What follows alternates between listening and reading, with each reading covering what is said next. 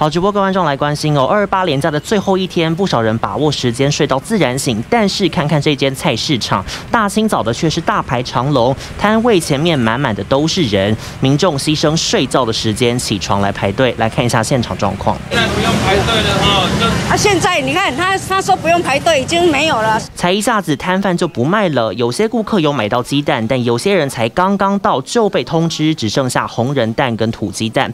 这是位在新北市新庄的宏泰市场，二十八号上午人潮满满，长长的一条队伍甚至排到隔壁商家的门口。这些民众通通都是为了要买鸡蛋，老板甚至直接跑到大马路上发放塑胶袋，顾客一个个低头在挑蛋，生怕一个不注意蛋就会被抢光光。以上最新消息。